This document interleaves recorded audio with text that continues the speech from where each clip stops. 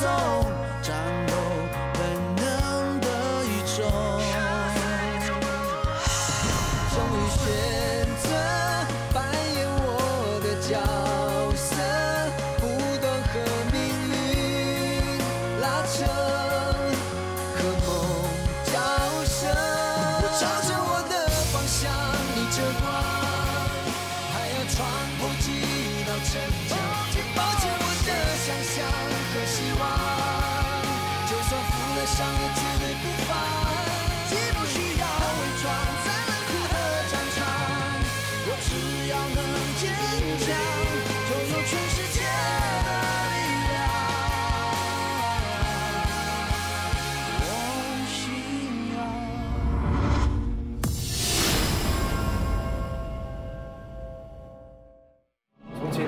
我就收到这种简讯，内容都是说什么是警察臭警察，说我多管闲事，要我小心。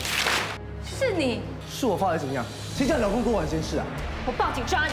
不准报警！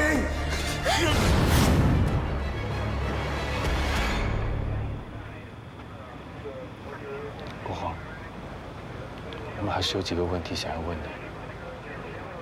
你最后一次见到艾琳是在几点？在哪里？今天傍晚六点半的时候，送艾琳回来，她自己先上楼，然后我开车出去买东西给她吃。警方在七点十五分接到有人报案，那这么说，艾琳遇害的时间应该是在六点半。到七点十五分之间。Sir，救护人员抵达现场后，证实艾琳已经死亡。他们在艾琳的身上发现刀伤，艾琳的财物没有被拿走，不像是劫杀。你们到四周看看，看看还有什么其他的线索。也是。Sir，在墙上的大字报跟垃圾桶找到的大字报都是一样的，都是在骂警察。这个，这里交给你了。好，国华，去哪里？要去哪里啊？国华，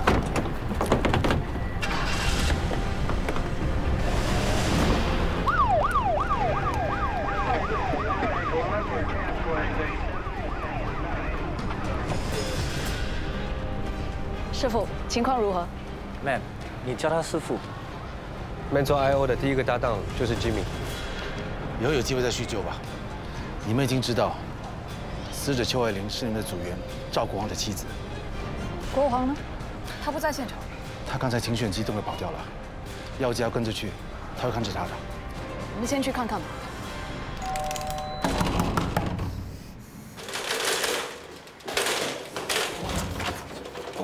肖家豪在哪里？你叫他出来。你是谁？肖家豪在哪里？家豪不在。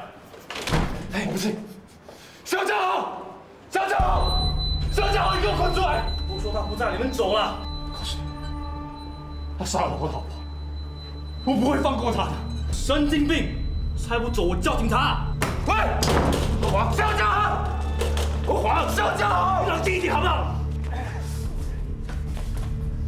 别这样！喂，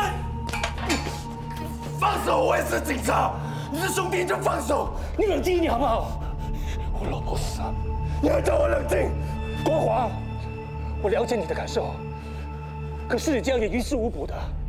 事情已经发生了，如果你不能冷静的话，怎么破案？肖家豪他就是凶手，他传简讯诅咒我欠债，然后对付艾丽，他就是凶手。你自己也是警察，你知道什么都要讲证据的。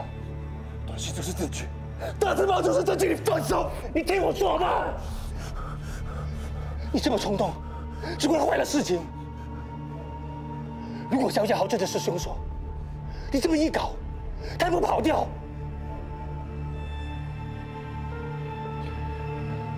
国王，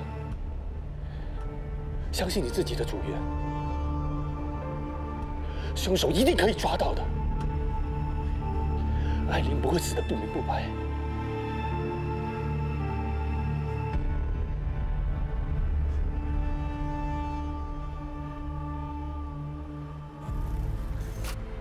为什么没有送他回去？为什么没有跟他一起上楼？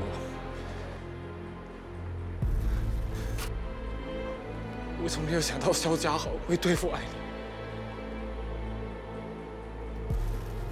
我是警察，为什么连我最爱的女人也保护不了？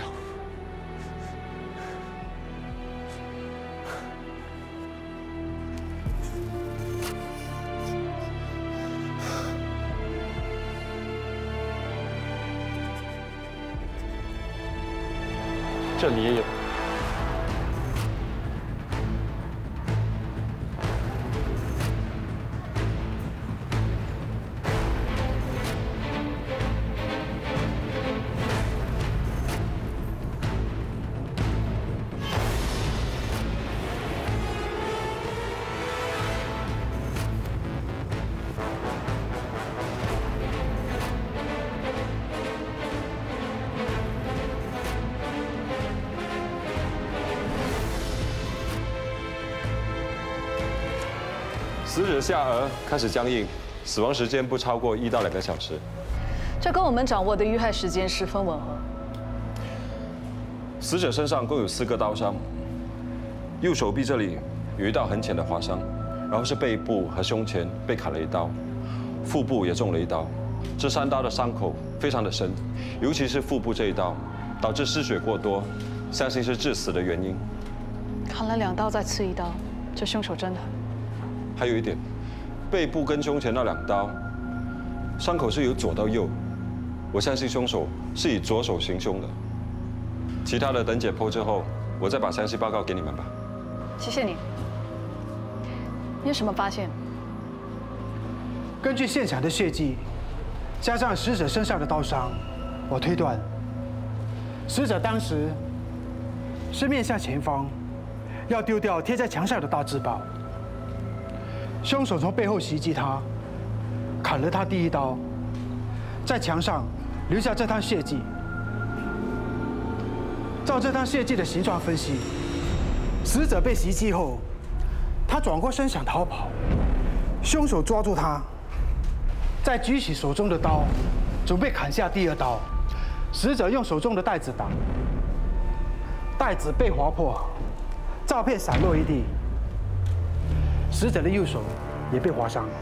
凶手再举刀在死者的胸前砍第二刀，然后又刺进腹部，死者倒下，造成那堆血迹。死者曾经反抗，但凶手不放过他。凶手跟死者到底有什么仇恨，非置他于死地？Sir, ma'am，我掀开这张大字报，才发现这一滴血迹。如果这滴血是属于死者的，应该是被砍之前流的，因为中刀后会大量出血，这个位置不可能就这么一滴血。根据血迹来看，应该是他被划伤后所造成的。这么说，手臂划伤才是第一刀。如果他在这里被攻击，为什么在那个位置才被凶手从背后袭击？如果你想确定，我们可以进行现场重建。分析血迹形态，找到攻击点。进行。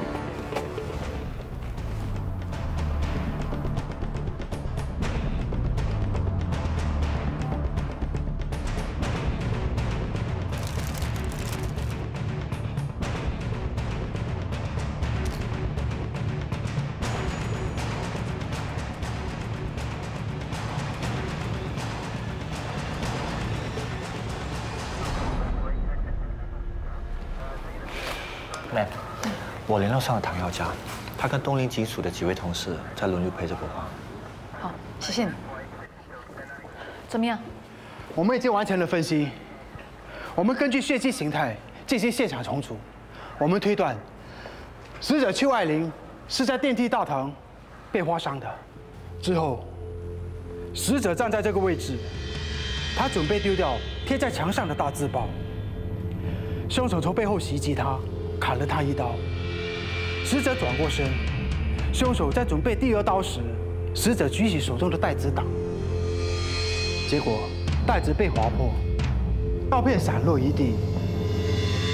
死者想逃，甚至反击，可是凶手不放过他，在他胸前又砍了一刀，最后在他的腹部捅了致命的一刀。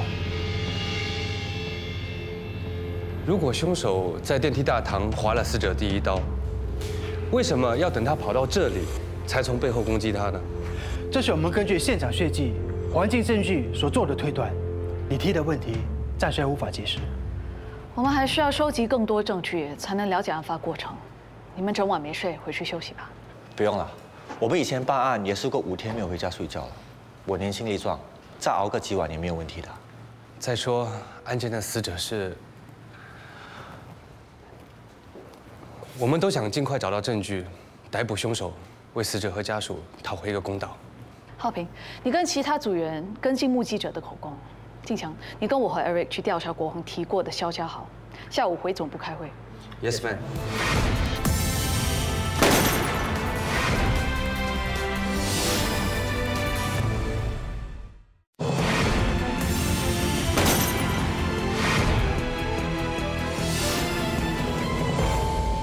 肖家豪是你什么人？他是我弟弟。肖家豪昨晚一整晚都没有回家，你知道他去了哪里吗？不知道，他的事我从不过问。你是他的哥哥，你怎么会不知道他去了哪里？他喜欢就回来，不喜欢就在外面过夜，谁有空管他？家豪那死小子，从小到大就只会闯祸，教也教不听。他在外面流浪也好。被人家打死也好，懒得理他死活。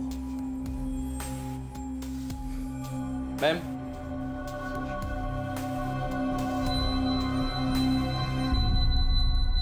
记录在案。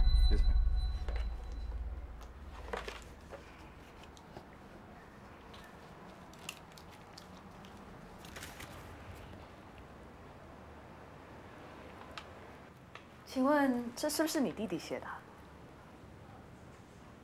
不知道。叫有关部门比对嫌犯的字迹。Yes, ma'am。现场的血迹都是属于死者邱爱玲。另外，我们在现场共找到九张写着“臭警察，多管闲事，小心全家死光光”字句的大字报。字迹和肖家豪的吻合。我们也在大字报上找到肖家豪的指纹。丢进垃圾桶里的大字报，也有属于死者的指纹。我们可以确定，邱爱玲是在丢这些大字报的时候被袭击的。凶手会不会是想阻止他而对他下手？不排除这个可能性。我们调查过肖家豪，他有抢劫的案底，被放出来不到一年。我们在他家找到失窃的手机，确定是他发短信骚扰过我。根据一位目击者吴女士说，她昨天值晚班。大概在六点五十五分，他在上班途中经过案发现场，看到邱爱玲跟一个男人吵架。这是吴女士所做的拼图，和肖家豪很相似。吴女士还记得那名男子穿着一件印有老鹰图案的 T 恤。目前证据显示，肖家豪的嫌疑最大，他肯定在案发现场出现过，而且跟死者有过争执，他也有杀人的动机。我们可以从他哥哥肖家富着手。我听肖家富的口气，他们两兄弟的感情并不好。肖家豪出事，应该不会找他哥哥帮忙我觉得他在说谎，你记得吗？我们刚才在他家看到他同样穿着有老鹰图号的 T 恤，两兄弟穿同样款式的衣服，加上我在他家看到几张他们的合照，他们两兄弟的感情应该很好。原来肖家富是故意说他不管弟弟的事，这就叫欲盖弥彰，越想遮掩罪行，反而让罪行暴露出来。照这样看来肖家豪一定会联系肖家富。我们需要二十四小时监视肖家富。浩平监视任务交给你。不过我们这组少了国皇又要二十四小时监视肖家富我恐怕人手不够。我会请示上级调多点人手过来帮忙。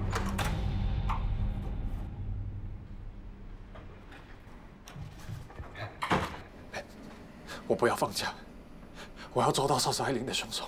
可是你情绪不稳定。我没事的，你让我跟你们一起调查，我答应你，我会保持冷静的。不是 man 不让你查，你自己应该很清楚，死者是你妻子，你根本不适合参加调查工作。我不管，我要抓到凶手，我要抓到凶手。看你的样子，像个警察。面对杀死艾琳的凶手，你能公平、公正、冷静的对待？这里的每一个人，从昨晚到现在都没休息过，都在查案。你要相信大家的专业，我们一定会尽全力调查的。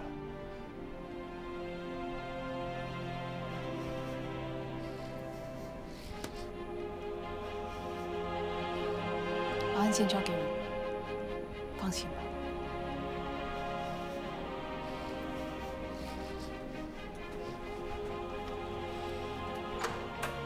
Eric，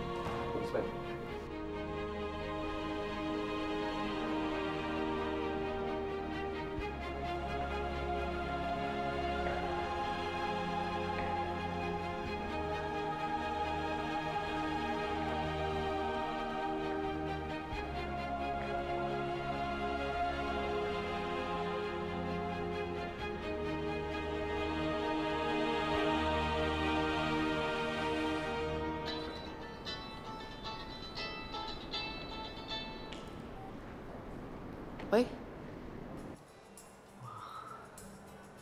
斯尼说过啊，他希望他的求婚戒指是至少一卡拉以上的钻戒。你觉得这几枚怎么样？都很漂亮。克强，嗯，斯尼最近怎么样啊？他很好啊。前几天啊，和朋友一起去香港血拼，晚上我还要去机场接他呢。看来看去，还是这枚最漂亮。心怡，你觉得呢？哇，真的是很漂亮。好，我就要这一枚。好的，谢谢。打了折之后是两万八千九百九十九。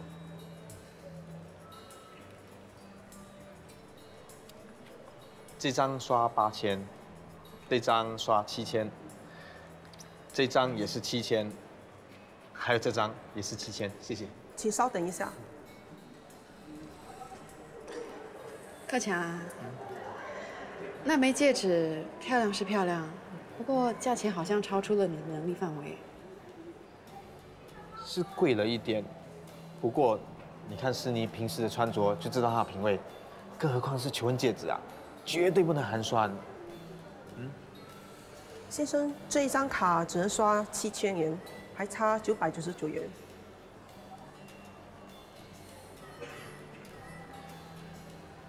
我先帮你付吧。谢谢。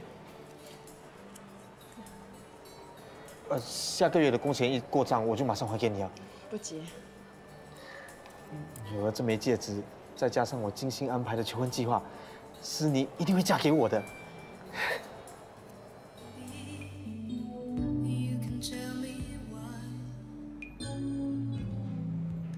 克强，你做事平时都很有规划的，不会乱花钱。可是我听慧敏和小黑跟我说，你也跟他们借钱了，是不是为了思你？你跟他认识不到两年，你对他了解有多深？这么快就结婚，会不会太冲动了一点啊？时间长短不重要，最重要的是我们深爱着彼此。我们还见过双方家长的。你见过他父母亲了？嗯，他的爸爸是在一间贸易公司当主管，妈妈是家庭主妇，他们对我的印象还不错。他爸爸之前生过一场大病，现在身体怎么样了？伯父他身体很好啊，没听说过有生什么病。你为什么这么问啊？没有啊，我只是好奇。我看思妮的家境普通，他大学的时候是怎么负担学费的？而且我看他一身名牌，平时的消费应该也挺高的吧？你想说什么？思妮是不是有其他的收入来源啊？斯尼的私事我不想知道。你是不想知道，还是你想逃避？其实你心里已经怀疑了，对不对？只是你害怕失去他，所以你不敢去面对。好了，不要再说了。克强，对不起啊，你是我的好朋友，我真的不想看到你受到伤害。嗯，我觉得你还是应该多一点了解他，才决定要不要跟他结婚。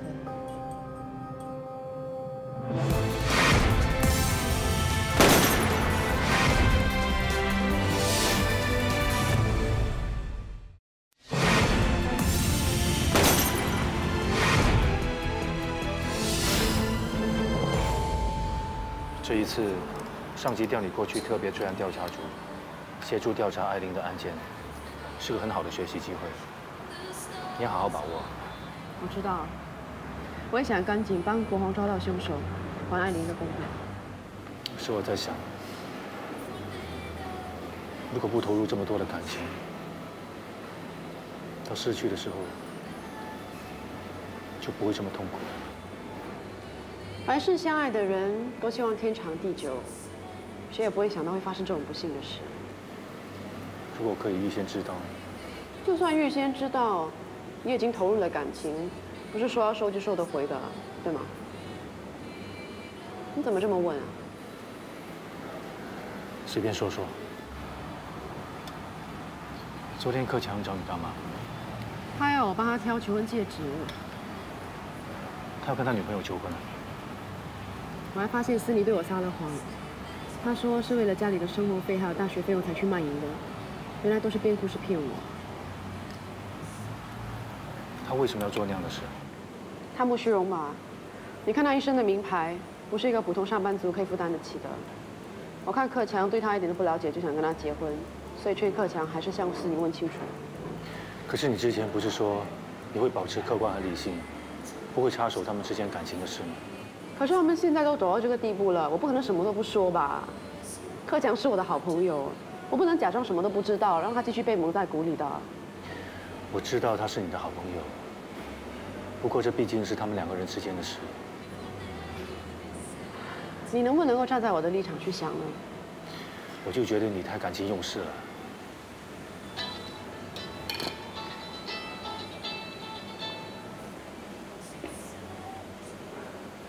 喂，慧敏啊，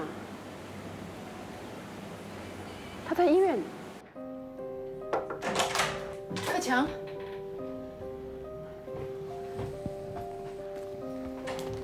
你怎么样？医生怎么说？皮外伤。你怎么发生意外的？我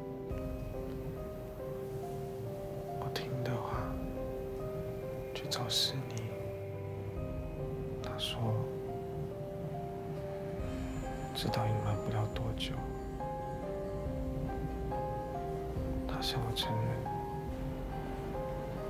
他为了要赚快钱，出卖自己。没想到，我的女朋友竟然是锦女。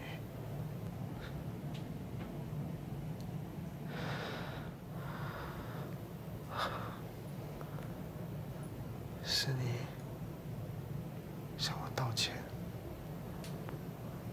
他说了三个字：“分手吧”，就头也不回的走了。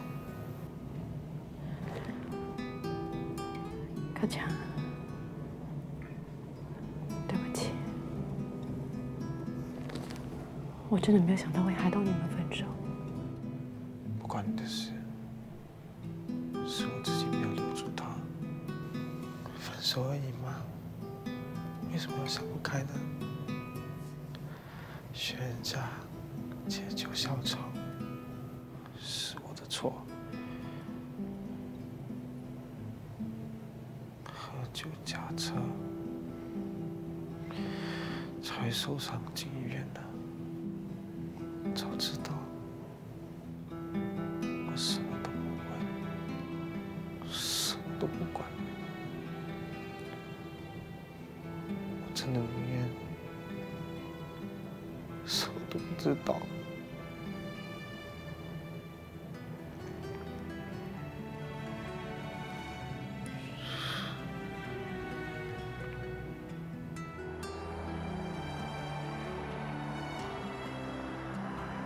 我知道你要说什么。你要说你对了，我错了。我不应该把思妮的事告诉克强，害他们分手。现在又害到克强出车祸。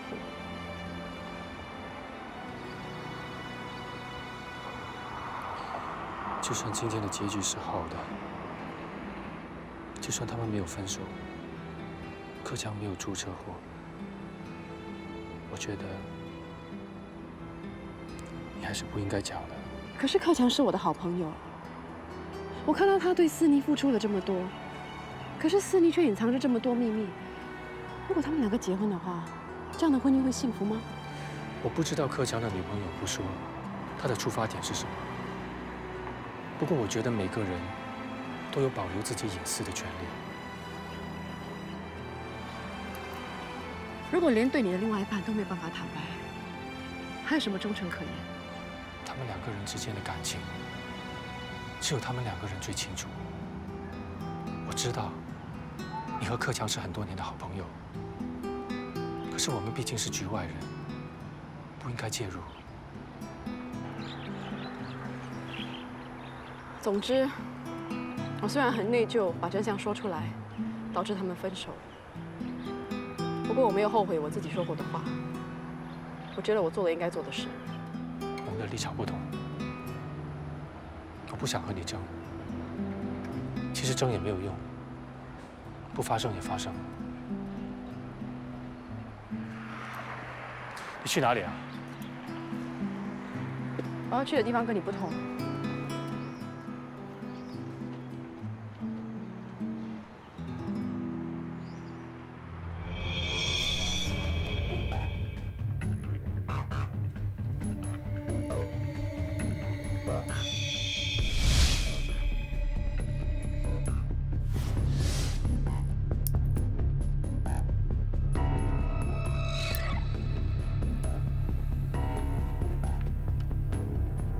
是皮肤组织和衣服线。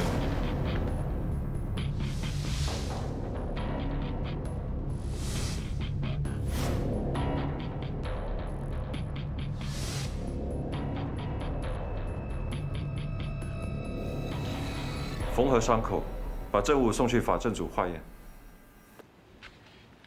这是你第一次看解剖过程，你还好吧？嗯，死尸之前都有看过，不过一想到死者是国王的妻子，心里就多了一份感触。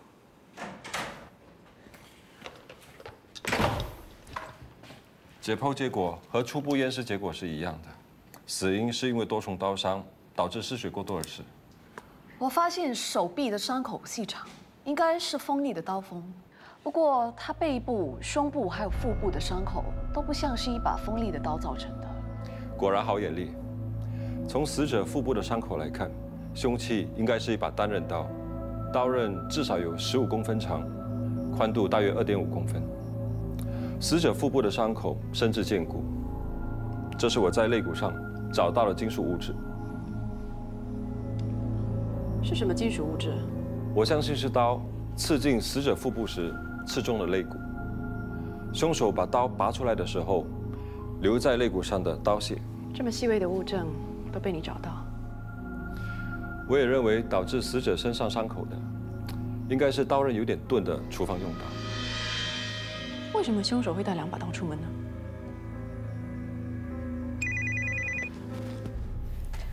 是我的。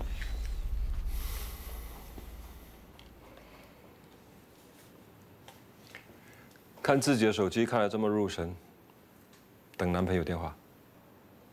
不是。记得，有什么不开心的，找我这个医生拿忘忧药。肖家豪的哥哥肖家凤有所行动。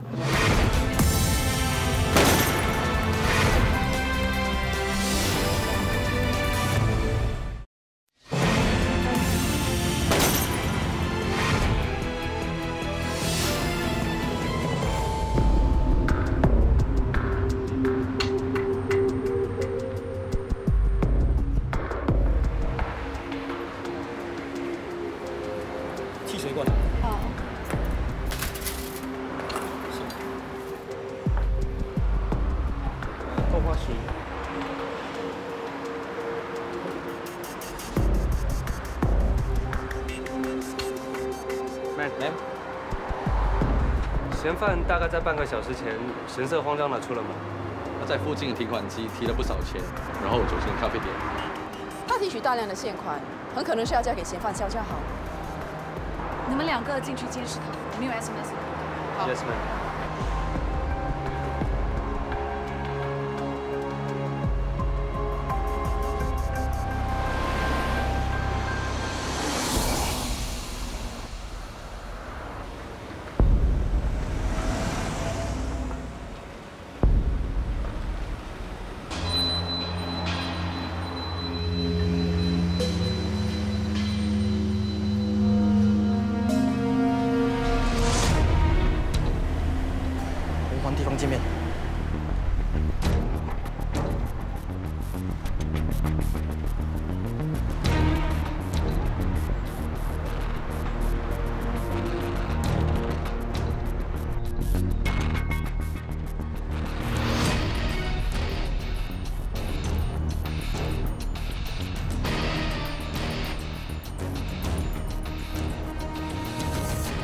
我们跟踪嫌犯到这里，就忽然不见了他的踪影。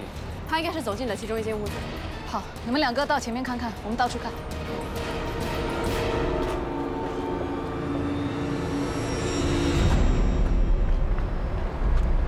这应该是他丢弃的。我说你的那个红色吸管和罐子。Kenny，你过。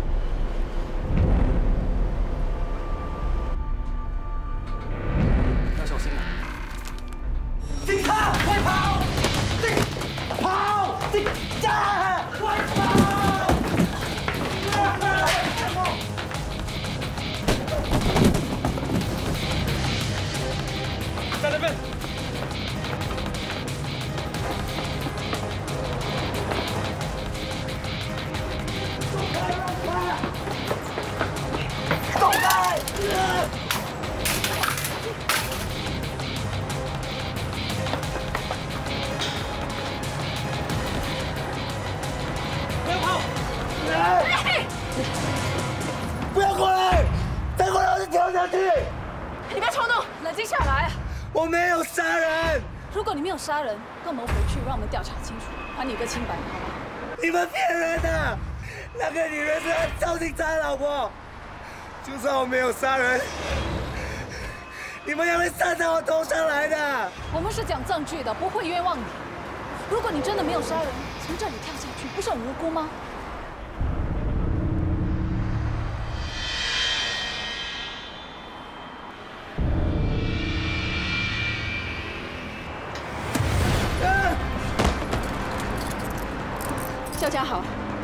警方怀疑你和邱爱玲被杀一案有关，现在正式逮捕你。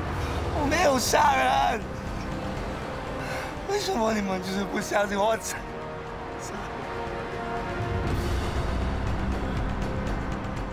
那我没有杀人，真的。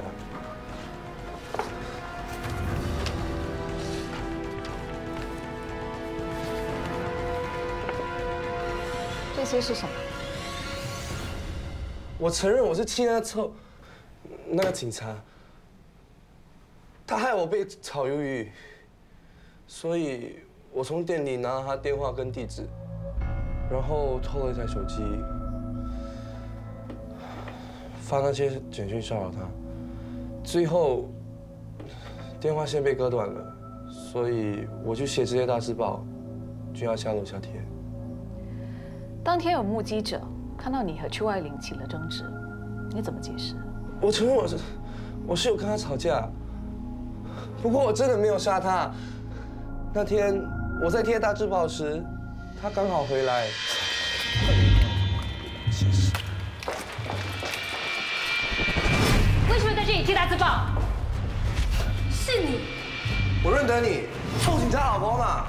原来那些骚扰简讯真的是你发的，现在还敢来这里贴大字报？是我发的怎么样？谁叫你老公多管闲事啊？我报警抓你！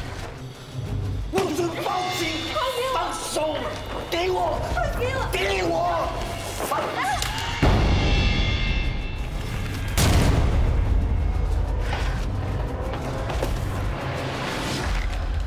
我看到那女人流血，自己也吓到，就跑掉了。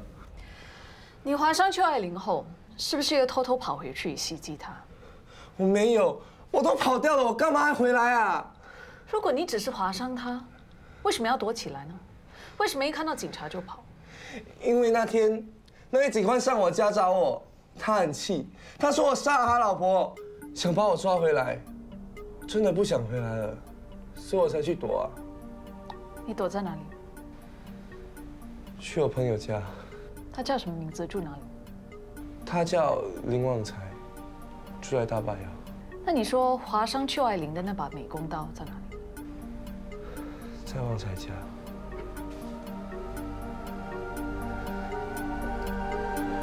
嘉豪这两天就住在这个房间，他的东西就在这里。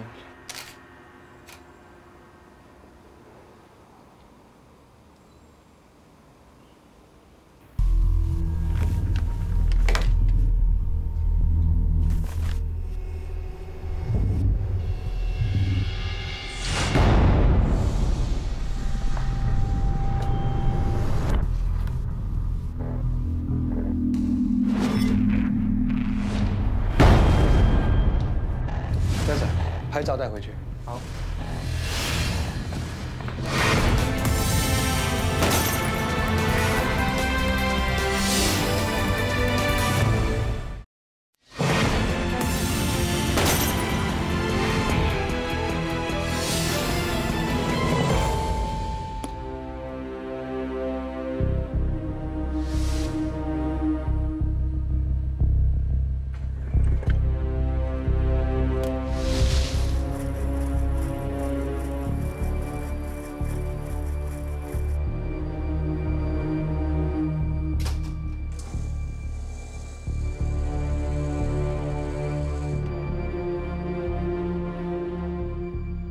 刀的外壳找到肖家豪的 DNA，外在美工刀的凹槽找到血迹，经过 DNA 比对后证实是属于死者邱爱玲的。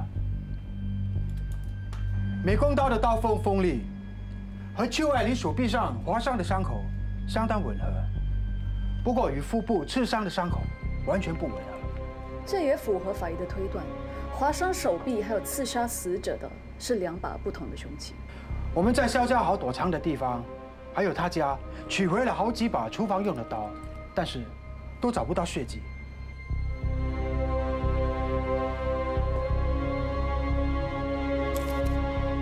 肖家豪有可能把凶器给丢掉了。应该不会。根据我的推断，肖家豪不是刺死邱爱玲的凶手。为什么你会说肖家豪不是凶手？因为这件 T 恤，根据证人的口供，肖家豪当晚是穿着这件印有老鹰图案的 T 恤，而 T 恤的衣服纤维也和法医在死者指甲里找到的衣服纤维完全吻合。这更证明肖家豪当天曾经和死者发生过争执。为什么你会认为肖家豪不是凶手呢？因为我在这件 T 恤上连一滴血迹都找不到。肖家豪如果袭击死者，他的衣服不可能完全没有沾到血。大家回想一下，死者是站在不同的位置被划伤和被砍伤的。当时我们不明白，为什么凶手要划伤死者后，又跑到另外一个位置，从背后砍伤他。现在合理的解释就是，这是两次完全没有关联的袭击。也许肖家豪划伤邱爱玲之后跑掉，然后穿了一件雨衣或者外套，拿了另外一把刀，再掉回头来杀人。虽然理论上可以，但实际上不大合逻辑。Madam 说的对，这完全是两种行为模式。肖家豪对国华心存怨恨，也只是发骚扰简讯、贴大字报而已，显示他是那种口气很大，但什么都不敢做的人。他拿刀划伤邱爱玲，就吓得跑掉了。砍伤和刺伤邱爱玲的那三刀非常的凶狠。当肖家豪在天桥上被包围的时候，他吓到全身发抖，这么胆小，不像是杀人凶手。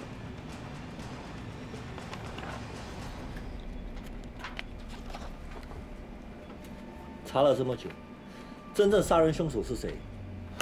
我们一点线索都没有。我们要赶紧找到凶手，让广航可以安心。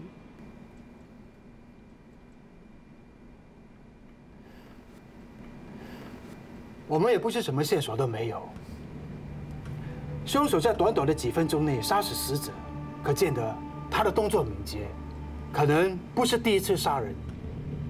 他出手又狠又冷血，心中一定有很多仇恨或愤怒。我们要重新调查邱爱玲身边的人，看有没有人有伤害她的动机。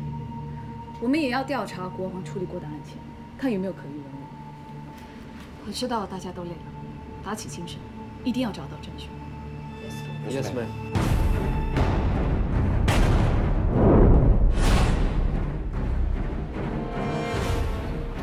前几天才刚发生命案，现在又发生伤人案，搞到这里的居民都人心惶惶的。庆幸的是，这一次受害者成功获救。希望等一下在医院帮他录口供的时候，他能给我们提供一些有力的线索。宁小姐，我是东陵警署的调查员唐耀佳，这位是我的同事，能告诉我们事情发生的经过吗？我下午回家的时候，就觉得有人在跟踪我。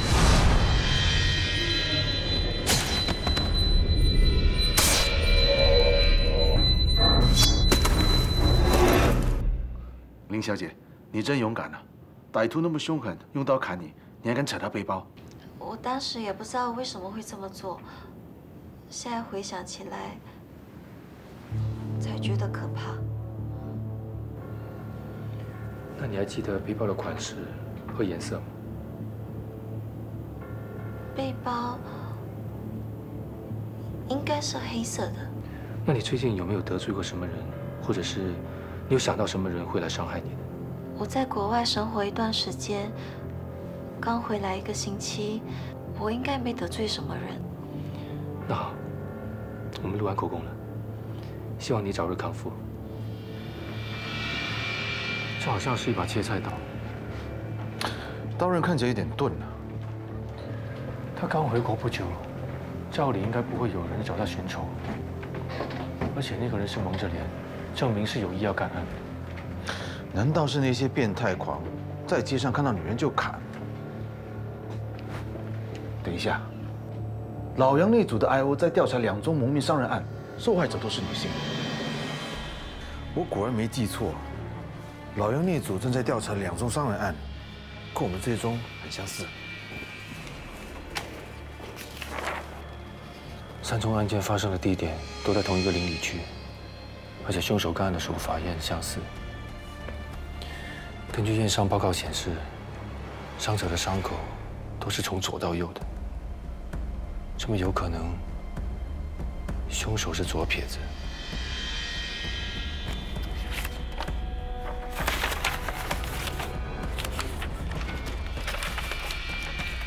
这三个女的都是二十多岁的，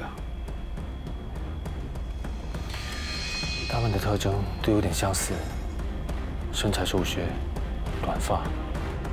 你说凶手是不是很讨厌这样的类型？身材瘦削，短发，都在同一个邻里区。